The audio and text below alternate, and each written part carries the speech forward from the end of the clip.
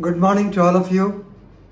Welcome to Legal Matters by Sai Babu Sunkara. In this video, we are going to learn a case law on Order 5, Rule 17 of the CPC. Of course, Section 27 of the General Clause Act also will apply. The important point is whether the notice returned as unclaimed is deemed to be refused or not. This is a matter of discussion which came to the level of the Supreme Court. Please remember.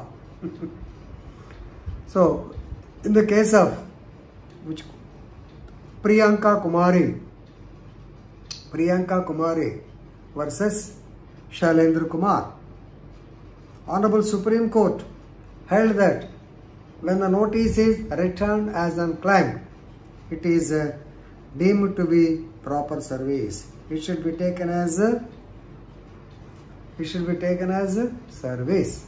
That's all.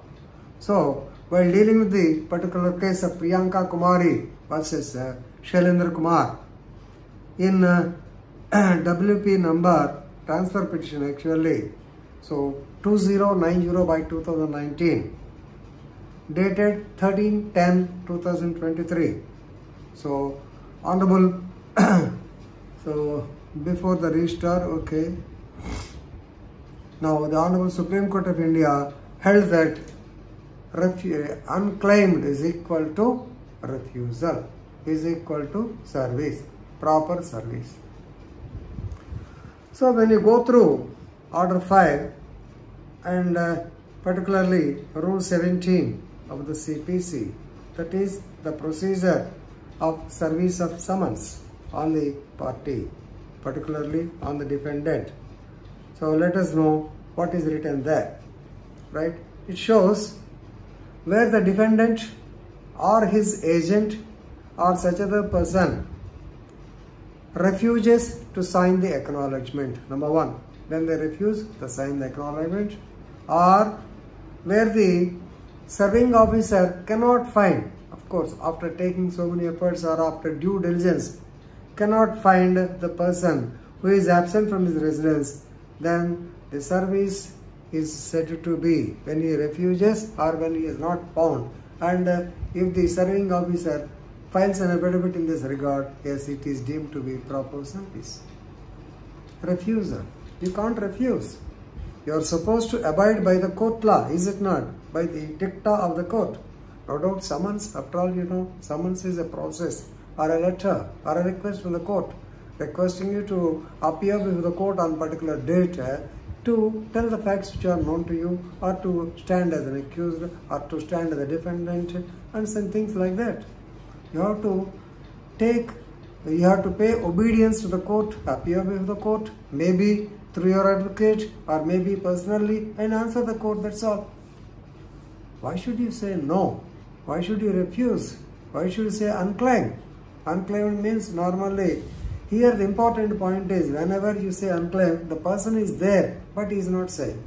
So what happens is suppose if somebody files a case against uh, Mr. Sunkara Sai Baba, right?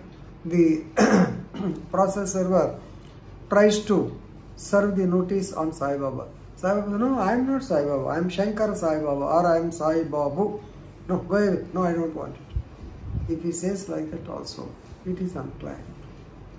Second point, if the family member, elder member is there, he says, Sai Baba, no, he is not available. Oh, we don't want, no, we are not concerned, go. So this is what is called unclaimed. That means the person has the knowledge about the whereabouts the concerned person and definitely they wanted to avoid. So court will not accept. This is equal to service of the summons. Right?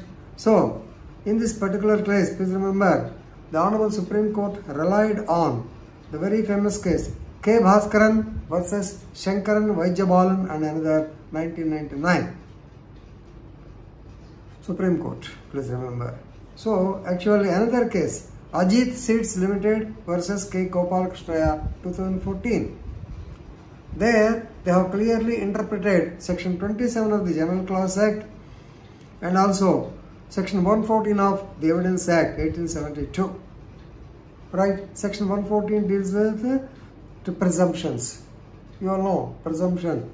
So, in the common course of natural events, communication sent by post would have been delivered at the address of the addressee. Normally, if it is delivered at the address, yes, it is deemed that the accused has come to know about the same. Then, section 27 of the General Clause Act, please remember, whenever you are not able to find any solution to your case, uh, you can, to your definition or other thing, you can approach the General Clause Act. That is the most important. General Clause Act 1897, it gives rise to a presumption that Service of notice has been effected when it is sent to the correct address by registered post. Please remember. So in spite of the return, in spite of the service, in spite of the service he refused, yes it can be taken as a service. So this is the interpretation given by the Honorable Supreme Court of India in this particular recording. Right? Then the word refusal can be interpreted in synonym with the so-called unclaimed. So don't think that it is not proper or uh, so-called incomplete service. The word refusal can be interpreted in synonymous terms as the word unclaimed. As held by the Honorable Supreme Court of India in the above decisions, when a notice is served to the proper party in the proper address of the addressee, it shall be deemed to be served unless contrary is proved. So when the notice is returned unclaimed, that means it is served properly, right? So now he has to appear before the court or he has to prove the wrath of his court.